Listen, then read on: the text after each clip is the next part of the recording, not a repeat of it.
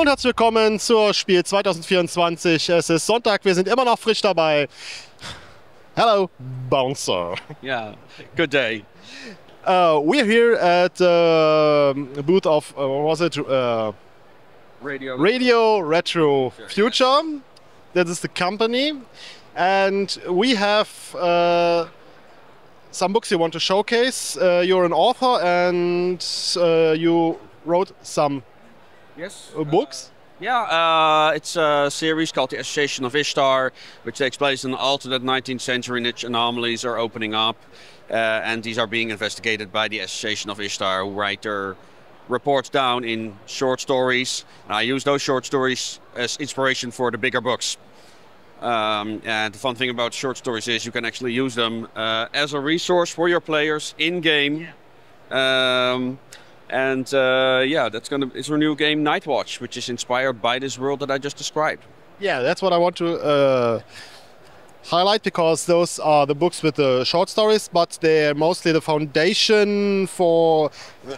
Not, not exclusively, you, you can just read the books. Okay, I have fun with them. Okay, Yeah, the books were first. yeah, the books were first. But if you uh, read the books and said, "Oh, that sounds interesting. I want uh, have fun. I have my own fun in this world," now you can. Yeah, yeah. I mean, uh, there's been a demand very early on for a role-playing game, uh, even a war game. Um, so uh, we'll see what we'll do in the future. Like this is my first uh, game. Uh, so, uh, but there's there's a lot of interest by other parties or to do things with this setting already. So we'll see where that goes. Um, right now, I focused on the role-playing game. Um, so I creatively I can work more on, on characters, kind of factions, like what would what what do people want to play, what do people want to see. Uh, so I'm also very curious the stories that people will make with this, um, because and here is where my YouTube channel comes into play, Radio Retrofuture on YouTube. Go check it out. Um, where I also make lore videos for people who are interested in this. Um, so I made a, YouTube series called the Steampunk Beginner's Guide, which was mostly about the costume culture associated with steampunk. Um, but my definition of steampunk is cyberpunk in the past, and that's just something the costume community does not do. Um, so uh, I started like writing my own stories, um, also for as examples for like, well, this is how you write well proper steampunk because most uh, steampunk books you see is actually fantasy with a steampunk skin. Um, so uh, I, I wanted to learn people to make the separation on how do you write good cyberpunk in the past, as what my definition of steampunk is, and uh, that is what Nightwatch uh, is all about. Uh, and it's a multiverse because uh, I want people to create their own worlds. And the idea was that the Association of Ishtar would be the outsiders looking into these other worlds. Well, that hasn't been realized yet, but people are thinking about uh, the main world itself, which is code named Atlas, because uh, it's all parallel versions of Earth, so they have code names. Um, and uh, yeah, that's what they're doing on our Discord, and then people are developing like their own vehicles, which are historically inspired. Um, and uh, yeah, th- those strings will eventually make it all into uh, the role-playing game, one way or another, or the lore videos, or any other uh, media that we uh, develop with our community. So that's that's really the whole goal. And yeah, starting with a role-playing game, see what people do with that, where they're taking their stories, taking their characters, seemed like a good good start. So this is the associations guide. Yeah.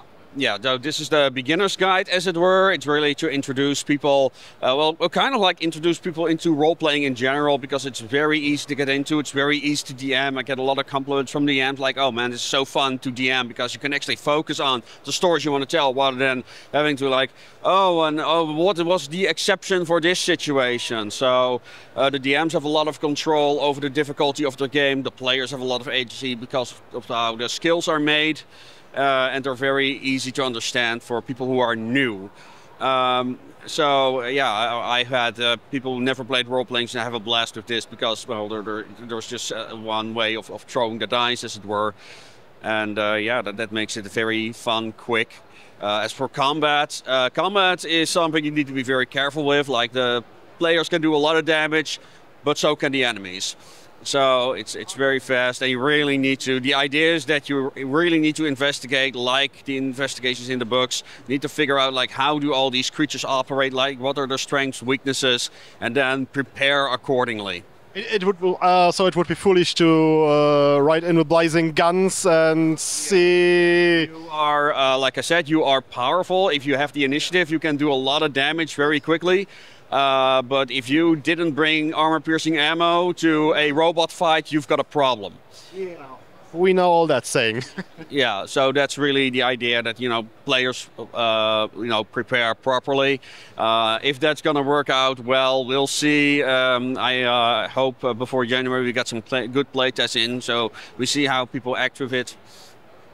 Yeah, you, you, mentioned January because that is when you're launching in uh, Kickstarter. That's uh, that's uh, what we're striving for. Um, like this is the biggest. I've done Kickstarters before, so I know how it works. Uh, but I never worked with manufacturers before, so that's something I'm I'm very like, oh my god, if everything goes all right, and um, you know, I'm, uh, that's so wonderful about Spiel. Like everyone is so helpful, and uh, you know, I can ask them anything. And uh, you know, companies like Longpack also comes by your booth, like to see what they offer, and you know, you're kind of blown away by all the possibilities, like all the kinds of things you you have not even considered. Yeah. And you know, everyone here, like you can just speak to anyone at any time, and just it's just a great atmosphere. That sounds great. So, uh, Kickstarter campaign launches in January for the core book.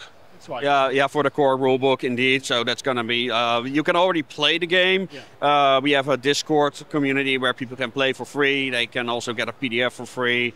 Um, on our website, we're going to also have like PDFs for the cards that are associated with the game. They're optional, but still they are one of our main selling points right now. Uh, and of course, character sheets will also be on our website. Okay. Anything else you want to highlight, to showcase, or the tweak? Uh, uh, what, what can I highlight? Well, uh, I mean, the art speaks for itself. Uh, we've got an amazing illustrator, Johan Alexander. He also does her comics. Uh, there are so many ways to enjoy the Association of Ishtar. If you're into lore, we have a YouTube channel with lore videos. If you're into steampunk, that's what my YouTube channel is all about. Uh, we've got books, novels, miniseries. Um, and uh, yeah, there's just a lot. Of just there's not just a game. There's like a whole community. I would say that's uh, something to keep in mind. That is, oh, here's the role-playing game. Have fun now. There might be the books if you're not just into role-playing game, you can enjoy the books, yeah. or if you're into the whole lore, you can enjoy the books, the videos, and or and all the role-playing game or everything. Yeah, well, so yeah. Um, it's a, it's a, a massive project. Um, we're very curious to where it'll end up. Um, I mean, I never imagined being on Spiel with this, so well, here I am. First time? First time Spiel, yeah, yeah, yeah. Uh, like uh, the the role playing game was like, oh, that kind of happened like uh, five years in or something. But like after two years, uh, a writer I know because I also did a podcast where I had like all kinds of steampunk offers, and one of them became uh, a game developer, and he was like, I want to make a role playing game based on your world. Uh, so that's how that happened. Yeah. Well, at this point, I wish you good luck with uh, all the work and hope it pays off. And uh, good luck with the Kickstarter and the role-playing game and yeah, everything else. Yeah, yeah, yeah. It's uh, it's been a long road, yeah. but uh, this is where we are now. So uh, we'll see. We'll see where it ends up. So have a last good day here at the Spiel, and thanks very much for the interview. Yes, and uh, good luck with your endeavors. Thanks.